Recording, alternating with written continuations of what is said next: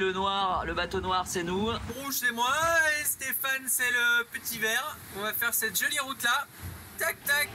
Pendant la course, les skippers sont tributaires de la météo, c'est la clé de leur performance. Celui qui aura la meilleure stratégie aura une longueur d'avance sur les autres. Alors voyons comment ça marche.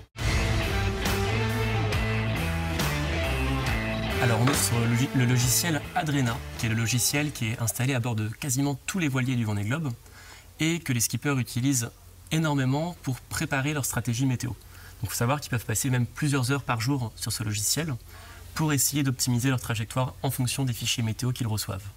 Donc sur le fonctionnement, en fait, ils vont pouvoir recevoir par satellite les informations météo. Le vent, les vagues, le point d'arrivée ou encore la vitesse du bateau.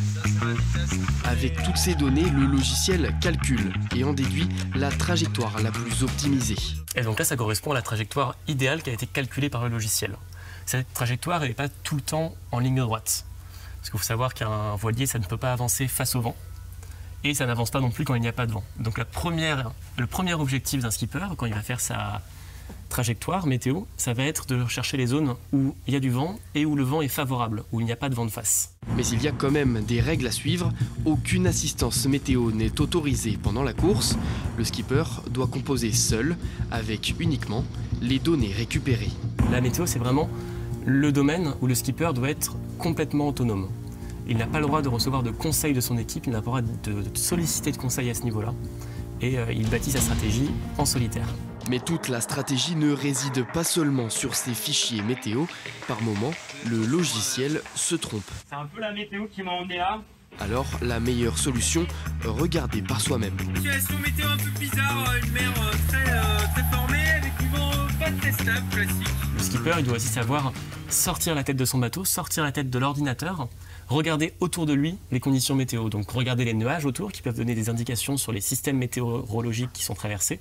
Regarder aussi l'état de la mer, la force du vent. Et tout ça, c'est des choses qui sont euh, essentielles aussi hein, pour bien concevoir sa stratégie. Alors ici, on a les euh, timings de sortie, donc les, horaires de sortie des différents fichiers météo. Parce que les fichiers météo sont mis à jour régulièrement, euh, environ souvent toutes les 6 heures. Et donc dans ce tableau-là, le skipper peut retrouver, savoir par exemple que le modèle de fichier de Météo France est mis à jour, le plus précis est mis à jour à 4h40 tous les jours. Pour visualiser les stratégies choisies par les skippers, vous pourrez consulter la cartographie de la course sur Internet.